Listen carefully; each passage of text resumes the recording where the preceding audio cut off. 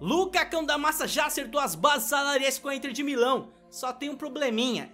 A Inter de Milão tem que vender um jogadorzinho deles. Já já entro em mais detalhes é mais um vídeo de FIFA 20 transferências. E dessa vez esse vídeo é pós-feriado, né, mano? Conto com o seu like, o seu apoio, os seus comentários, o seu feedback. Clica no sininho para ativar as notificações. E, mano, bora já falar logo diretamente sobre essas transferências que poderão afetar o game no Ultimate Team e no modo carreira. Então bora, já a primeira transferência é na Série A, mano. Ainda não é desses jogadores que eu tô falando, mas é do Muriel, ex-jogador do Sevilha, que depois foi para Fiorentina e agora foi contratado pelo Atalanta. Muriel não teve bastante oportunidade no Sevilha, fazendo somente um gol na La Liga. E na metade da temporada europeia ele foi para Fiorentina e em 19 jogos ele fez 6 gols no campeonato italiano. Tá bom demais. Então com isso o Atalanta comprou ele por 18 milhões de euros e vamos ver se vai dar certo. Mas parece, mano, que somente na Itália que o Muriel tá vingando. E a próxima transferência é o volante meio-campista Marco Llorente do Real Madrid, vai para o rival Atlético de Madrid por 30 milhões de euros. Jogador espanhol novo, né? Ainda tem 24 anos e todo mundo tá falando que ele vai ser o substituto do Rodri, que como eu falei para vocês no último vídeo, é certeza que vai para o Manchester City. O time do Real Madrid, mano, você piscou, não jogou bem, você é vendido ou emprestado e é, parece que isso que aconteceu com o Marcos Llorente.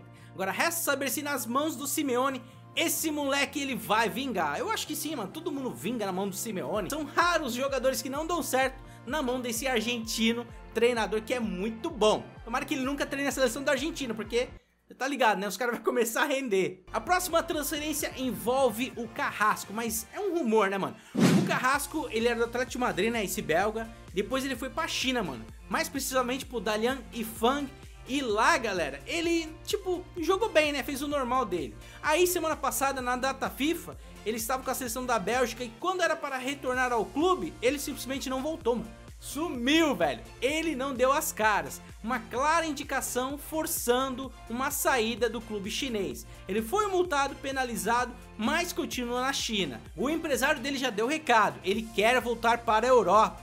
E parece que um dos mais interessados nesse retorno à Europa é o Arsenal, mano. Se liga só, é, o Carrasco, ele na Copa do Mundo, né, ele começou a Copa do Mundo como titular, mas o nível dele tava bem abaixo dos outros e ele acabou perdendo a sua posição. Eu acho que ele tá com isso na cabeça, né, então jogar em uma liga top, num time muito bom, tem tudo para recuperar seu futebol. E ele é novo, né? Tem 25 anos ainda, mas resta esperar saber se ele realmente vai conseguir sair do clube chinês. O próximo jogador, galera, que tem que sair do seu clube é o Rafinha do Barcelona. Rafinha, o irmão do Thiago Alcântara, ele tem 26 anos. Mano, a idade tá chegando e você não tá tendo uma sequência no seu futebol. Ele é habilidoso pra caramba, só que ele precisa ir em um time em que ele vai jogar. E parece que o Valência surgiu como um dos interessados para tirar o Rafinha do Barcelona. E cá entre nós, molecada, ele tem que fazer isso, ele tem que jogar, ele tem que sair para um time que vai dar oportunidades para ele de tentar pelo menos engatar aqui uma sequência de jogos. Se for vendido, vai ser na casa de 15 milhões de euros, um preço bem abaixo né, do que a gente imaginou que o Rafinha custaria tipo uns 3, 4 anos atrás. Agora vamos para a temática principal desse vídeo, molecada. Luca Cão da Massa na Inter de Milão. Pois bem, esse jovem jogador de 26 anos belga não deu certo no United. Às vezes pode ter sido por causa do treinador, do estilo de jogo, mas o fato é que ele não deu certo no United e ele quer vazar fora. Ele já acertou as bases salariais com a Inter de Milão do novo treinador Conte. Conte, né? Treinou o Chelsea, sabe o campeonato inglês e sabe do potencial do Lucacão quando jogava pelo Everton. E nós conhecemos também o potencial dele pelo que ele fez, né? Contra o Brasil na Copa. Só que a Inter, pra ter essa grana de comprar o Lucacão, mano, ele tem que vender um jogador. E o Conte já avisou ele não quer o matador deles, mano, o argentino Icardi. Já avisou pro Icardi que ele tem que procurar um novo clube. Aí você deve estar tá pensando, mas Fredão, por que o Icardi? Icardi goleador e tal. O problema do Icardi não é nem no campo, é o extracampo, mano. Problemas com a esposa dele, que é empresária dele, Vandalara, aquela história que ele chifrou o Maxi Lopes.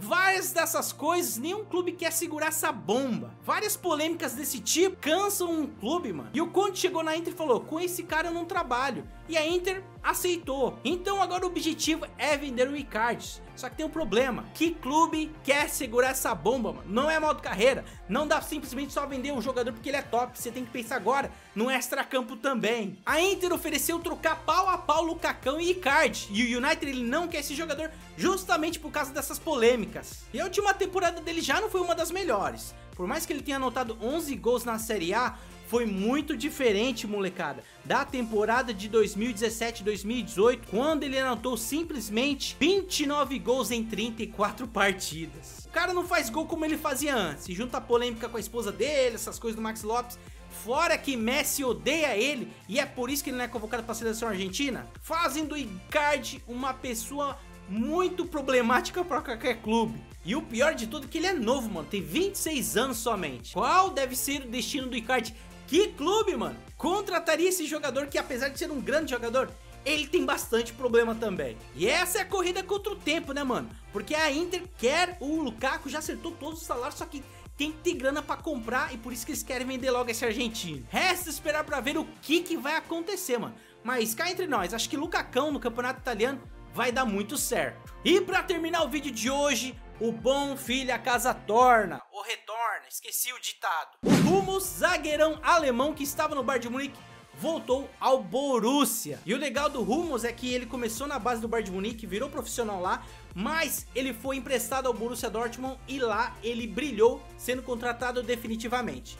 Depois ele quis voltar para o Bayern de Munique, ficou 3 anos lá e agora volta de novo no Borussia Dortmund. Parece que até o final da carreira dele, mano, ele só vai jogar nesses dois times. Ele tem o privilégio de dizer que jogou nos dois maiores times da Alemanha. E é assim que vai ficar até o final da carreira, é o que parece. Ele teve uns problemas físicos no Bayern de Munique e isso não fez ele jogar o que ele jogava no Borussia Dortmund, mas quem sabe agora, né, com o tempo, com tranquilidade, ele consegue recuperar o futebol dele, que para um zagueiro com 30 anos ele tá novo ainda. 30 milhões de euros foi o que o Borussia Dortmund pagou ao seu rival, mano. Uma boa contratação? Eu quero saber a sua opinião. E o Borussia Dortmund fazendo altas contratações legais aí nessa janela, né, mano? E mais uma transferência envolvendo a Bundesliga, mano. Sabe aquela eterna promessa do Real Madrid, aquele norueguês Martin Odegaard? Parece que o Leverkusen vai contratar ele no lugar do Julian Brandt, que acabou de ir para o Borussia. Odegaard na última temporada no campeonato holandês fez 31 jogos, 8 gols e 11 assistências, provando que ele não é uma eterna promessa, só tem 20 anos, tem tudo para mostrar ao mundo que ele não é só uma eterna promessa.